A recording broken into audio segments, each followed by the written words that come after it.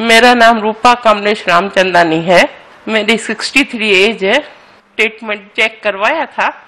वहाँ पर मेरे को उन्होंने बोला पॉजिटिव आया है। हॉस्पिटल में मेरे को बिल्कुल ठीक है। किसी बात की तकलीफ़ नहीं है। मेरे को बरोबर ट्रीटमेंट दे रहे ध्यान बहुत रख रहे हैं। मैं एएमसी के थ्रू आई थी 108 में। मेरा इधर किसी बात का चार्ज नहीं लगा है। डॉक्टर मेरे सब केयर कर रहे हैं। जब पहले आई थी तो थोड़ा ज़्यादा लग रहा था। आज उन्होंने बोला, आपका इम्प्रूवमेंट है। कल दो दिन देखेंगे, ऐसा ठीक लगेगा तो हम आपको दो दिन के बाद छुट्टी दे देंगे। हॉस्पिटल का शुक्रिया, स्टाफ वालों का शुक्रिया। म्यूनसिपाली वाले भी मेरा ध्यान रख रहे हैं। उनको भी थैंक यू